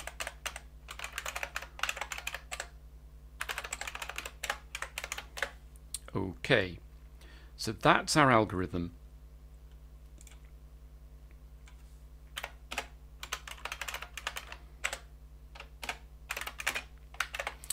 So now we have to do this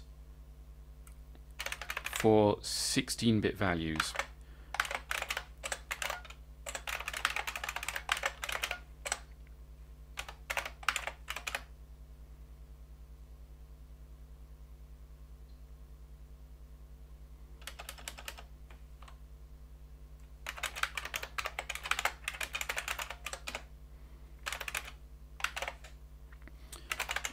current dirent comma y sta param comma y current dirent comma y sta comma y and we are going to have to increment y again so that actually put some new lines in to split things up a bit so that uh, we're consistent in the position of y between the two branches of that if. Okay, so now current dirent comma y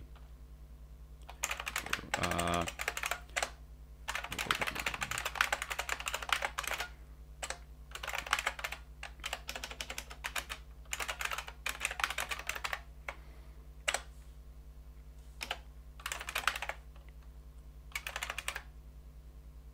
hang on a second. F FCB is yeah okay.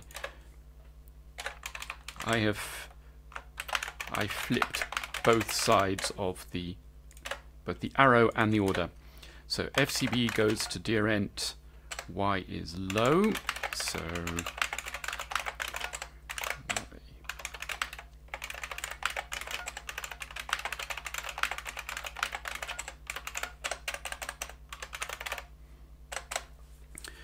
So now y is pointing at the low byte. We want to compare the two.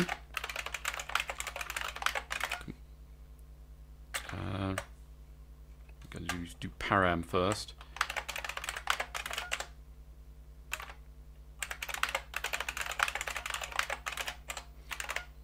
Increment the param y SBC current dirent comma y. And then it's the same error code. So in fact we can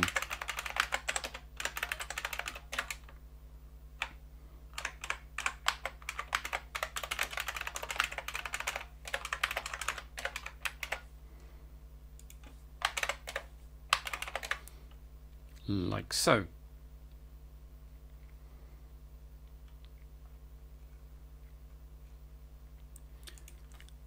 and then increment y so it points at the next item.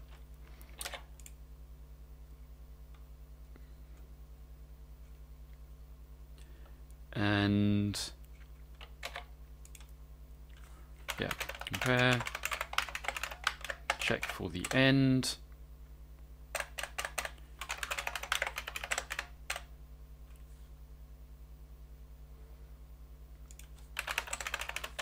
And terminate with success. Okay. Not very convi- uh, I mean, the algorithm is, is simple enough, but I'm not particularly convinced by my implementation of it. So, make Baz.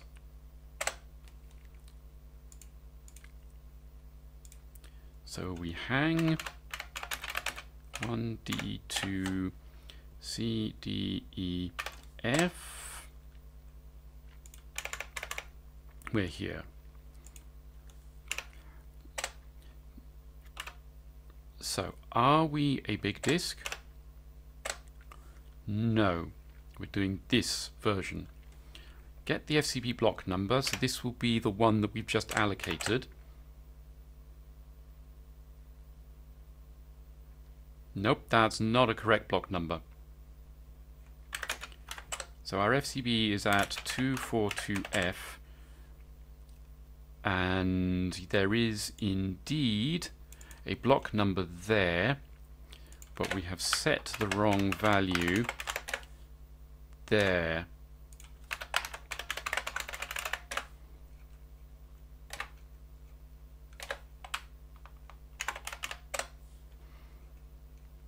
so break at 1D2C.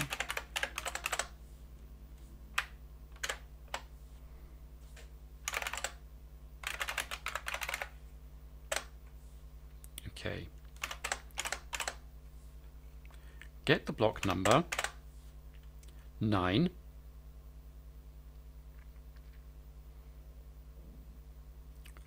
So somehow we managed to write back that uh,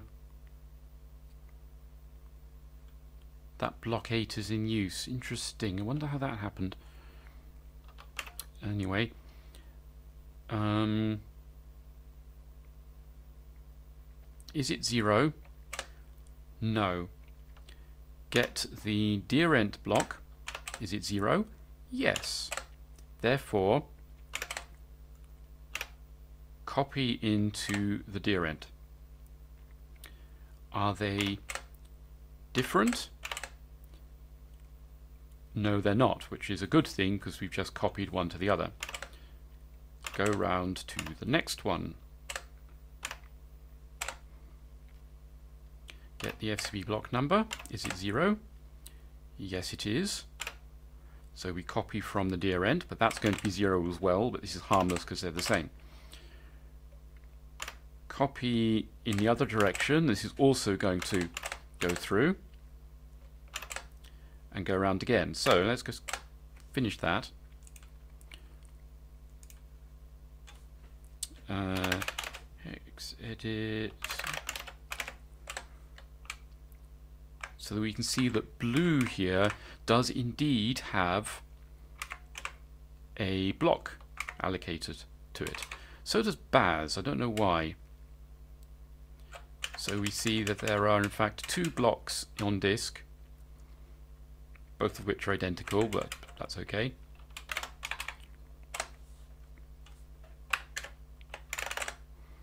So I can dump that and we get 128 bytes of, of queues.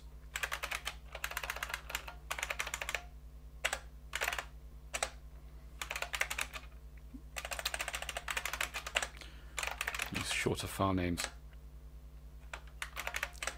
Okay, I think this is working.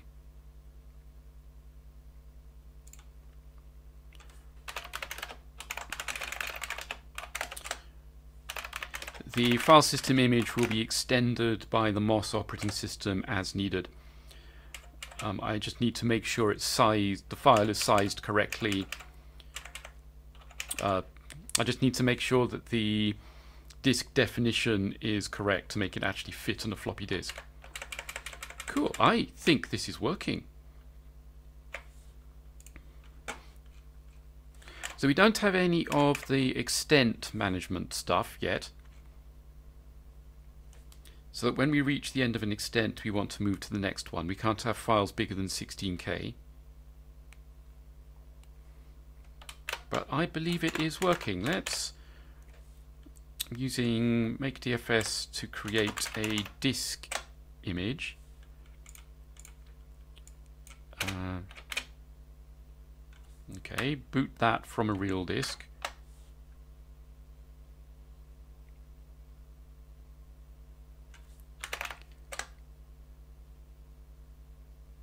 Ah. You see the pause as we get to here. That's because it's reading the next directory sector.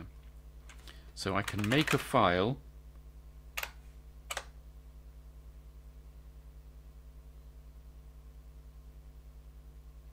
Oh, interesting.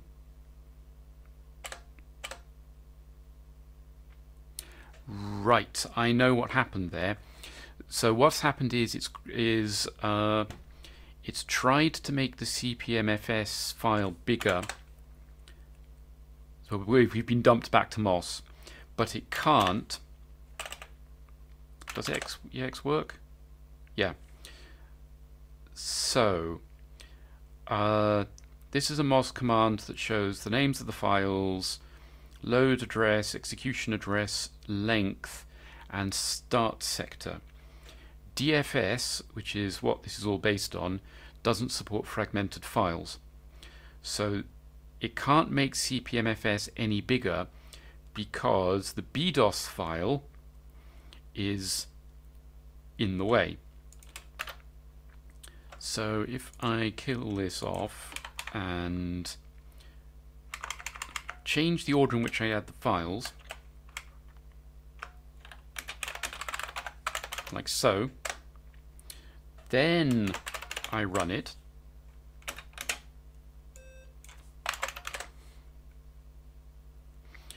we see that uh, BDOS is below CPMFS, CPMFS and the sector number. So I run that.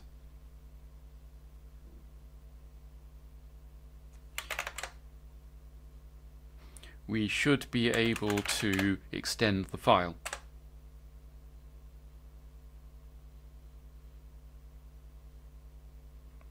And indeed we can. And there is our queue. Excellent. Right, we can read and write files. Small files. So that is really nice progress. Uh, where's my vector table. We need to implement uh, the one, the calls here that, are, that we actually want to implement. So that's going to be one, two, three, four, five, six, seven, eight, nine, ten, eleven, twelve, thirteen, fourteen, fifteen, sixteen. So yeah, still quite a lot of calls, but most of the actual logic, the hard stuff, is done. Uh, the, the next bit is going to be extent management. Uh, so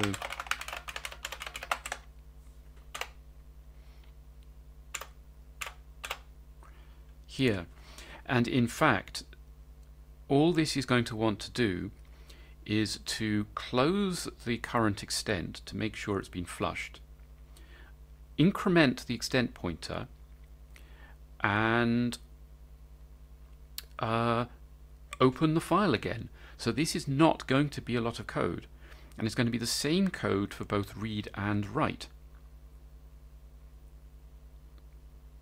Then, of course, we have to fix all the bugs. Okay, so I am going to stop here for now because let's just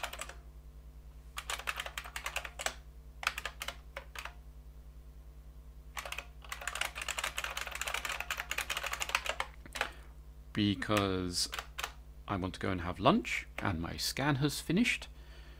So that is that's very pleasing. Okay, next time extents.